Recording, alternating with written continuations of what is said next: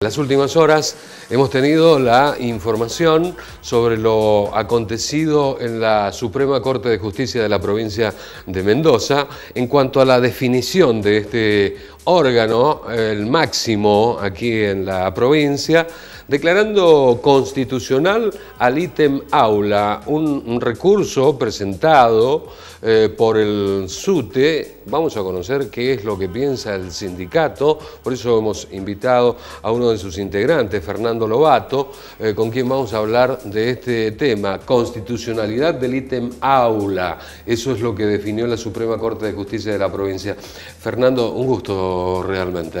Hola Daniel, buenas tardes. Bien, eh, ¿cómo se dio el tema concretamente en cuanto a la presentación judicial que hicieron ustedes?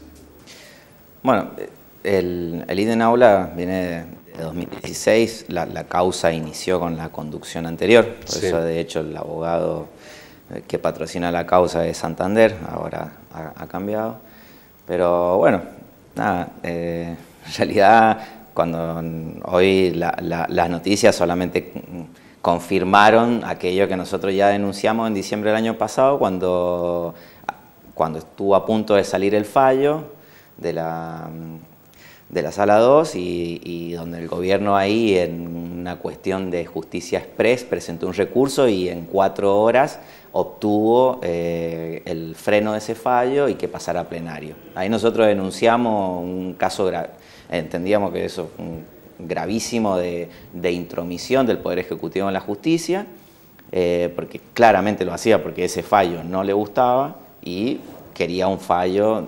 En ese momento, ¿el fallo cuál fue concretamente? Eh, no, nunca se hizo oficial, pero lo que se, lo que se había filtrado es que, eh, si bien declaraba constitucional el IDEN aula, sí hacía algunos reparos, algunos reparos mínimos aunque sean, que que vulneran, digamos, absolutamente derechos, digamos, básicos, de, derechos humanos eh, básicos que tienen que ver con, con, el tema de, enfermarse, de, poder enfermarse y tener una licencia, y, y del derecho a huelga, por ejemplo. Claro. Es especulación fuerte que ese fallo iba a plantear que, eh, bueno, que vos no, se te iba a descontar el ítem si, por ejemplo, hacías un tratamiento de fertilización asistida, no te iban a descontar el ítem si donabas órganos y tampoco te iban a descontar el ítem aula si eh, hacías uso de tu derecho a huelga.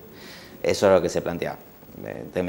Ese fallo a Cornejo no le gustaba y bueno, presentó ese recurso y ahí nosotros dijimos, bueno, esto obviamente si presenta eso es porque va a salir un fallo a pedido de Y, la verdad que en términos institucionales y en términos de democracia estamos asistiendo a un hecho gravísimo y, no sé si por ahí se alcanza a dimensionar esto, porque hoy lo que tenemos es una justicia absolutamente subordinada a un poder de turno.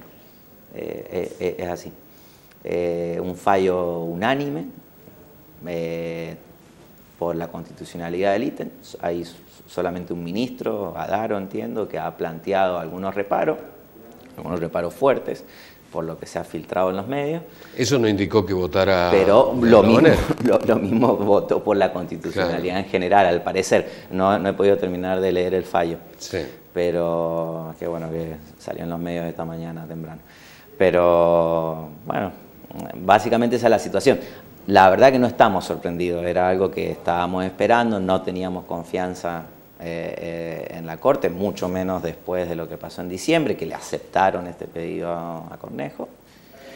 Y bueno, nada, entendemos que el camino sigue siendo la, resistencia en los lugares de trabajo, en las calles, manifestándonos.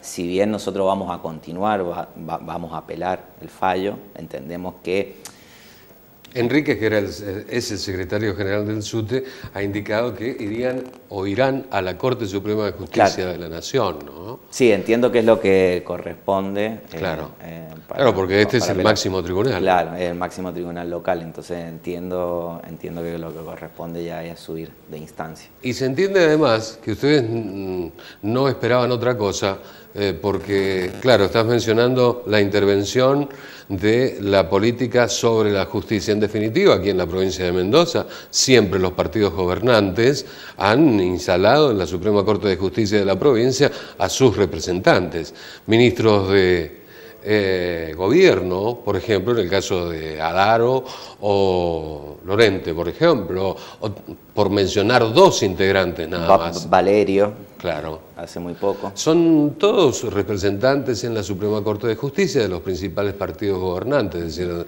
aquí en la provincia del radicalismo y del justicialismo en las últimas etapas, eh, gobernando. El tema es el planteo justamente de eh, insistir en la Corte Suprema de Justicia de la, de la Nación, eso sería lo que se va a producir. Eh, en términos estrictamente legales sí, eh, es, lo que, es lo que corresponde por otro lado. Eh, nosotros no, no, vamos a bajar esto porque en realidad estamos convencidos que esto es inconstitucional. Claro. digo, si entendemos por, por constitucional todo aquello que tenga que ver con defender derechos, ¿no? Claro. Eh, derechos a la salud, derecho al trabajo, derecho a, manifestarte, a, expresar tu, tu idea política. Digo, derechos básicos que tiene el trabajador. Si entendemos por constitucional eso, eh, bueno, esto es plenamente inconstitucional. Incluso un ministro de la Corte eh, plantea que que no, no, por dar un incentivo, entre comillas, a la asistencia, vos podés generar, digamos, atentar contra derechos básicos y generar un ámbito de trabajo insano. Porque básicamente el ITEN aula lo que hace es generar ámbitos de trabajo insanos, porque tenés compañeras y compañeros que van a trabajar enfermos o que van a trabajar mientras sus hijos están enfermos o sus familiares cercanos están enfermos. Y eso obviamente genera una situación de desgaste físico, emocional, eh, psicológico que ah, tarde o temprano termina provocándote la licencia. Y de hecho eso se está demostrando porque si bien el gobierno sigue mintiendo con los índices de ausentismo, el ausentismo ha vuelto a crecer. Porque a pesar de que cada vez tenemos sueldos más bajos, hay momentos en que vos ya no podés ir a trabajar enfermo, que directamente caes en cama. Y es, la situación que hoy se está dando en las escuelas que además está el riesgo de salubridad pública, ¿no? Porque un docente, digo, que va y está con niños y demás y va a trabajar enfermo, digo, eh, es, todo ilógico y, a la vez, insisto en el planteo inicial, eh, es preocupante lo que está pasando a nivel institucional y democrático. Porque digo, si hoy Cornejo tiene este poder sobre la Corte, eh, imagínense lo que puede ser con una posible ampliación de la Corte. Digo, pasaríamos casi, no sé, habría una reforma constitucional y no sé, iríamos directamente a una monarquía, no sé, algo, algo así, porque realmente es grave la intromisión del Poder Ejecutivo sobre, sobre el Poder Judicial. A través del tiempo, desde la aplicación del ITEM Aula en la provincia de Mendoza, ¿ha existido mayor conciencia por parte de los docentes? Eh, supongo que en eso están trabajando ustedes, pero ¿lo observan así? ¿Se están informando más? ¿O es solamente la dirigencia y algunos sectores que son los que eh, empujan al, desarrollo de la actividad del, gremio, de la actividad sindical, que está consciente realmente e informada sobre esta situación? En, realidad, eh, sobre el ítem aula en particular, eh, digamos que nunca el gobierno obtuvo una, victoria ideológica. El, ítem aula fue resistido por, la gran mayoría de los trabajadores de educación desde el inicio, de 2016. Eh, de hecho, desde 2016 para acá no hemos acordado ninguna paritaria con este gobierno. De hecho, somos el único gobierno que no ha aceptado ninguna de las propuestas, digamos, paritarias que ha hecho este gobierno, porque todas atentaban contra, contra nuestros derechos. Y, ahí, bueno, eh, mayoritariamente los docentes se expresaron en los ámbitos democráticos de nuestros sindicatos, que son los plenarios departamentales y provinciales, por, digamos, bueno, eh, si, si vos querés imponerme eh, peores condiciones de trabajo, bueno, hacelo por decreto. No, no, no, no, vamos, no lo vamos a aceptar.